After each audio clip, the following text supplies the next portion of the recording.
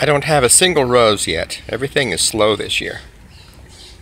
My pots have gone unfilled and many planting areas are waiting for me. In the meantime, I enjoy the green. I have lots of green because I'm a believer in the permanent plants of gardening, not the little flowers that you waste money on. I plant trees and couple hundred shrubs, lots and lots of hostas. I think I'm up to 140 hostas.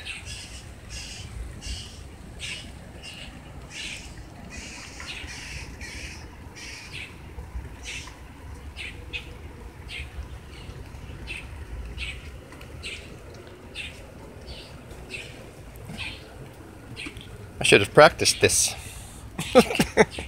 it's hard to do. Hard to walk and talk. More hostas down in there. A few roses will be coming soon. I have uh, maybe 25, 28 of those. After losing several, I still have a good, good many.